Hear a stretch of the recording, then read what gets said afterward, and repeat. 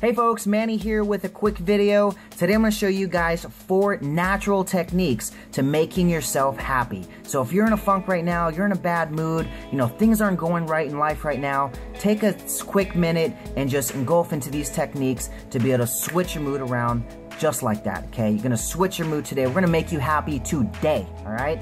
So technique number one is listening to music, all right? Go ahead and find your favorite playlist, your favorite artist, and just engulf yourself into their music. Okay? It's going to release endorphins in your brain that is going to make you happy. All right. Another technique is taking a nap.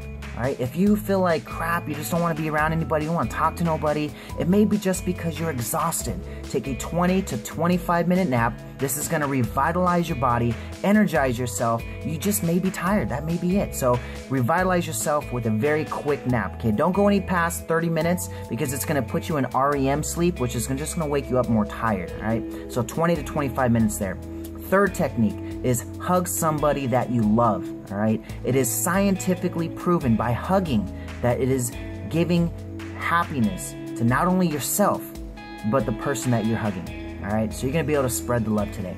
And then the fourth technique is to go shopping. Buy yourself something. Go, you know, buy yourself a candy, buy yourself a toy, buy yourself a little gadget, whatever you like. You know, if you're a woman, go buy yourself some some clothes or some makeup. You know, buy yourself something to bring yourself out of your funk. All right. So you've got four natural techniques that can make you happy, guys. Go and use those. Tag a friend that may need something like this today. Share this on your social media, and always remember, you are too blessed to be stressed.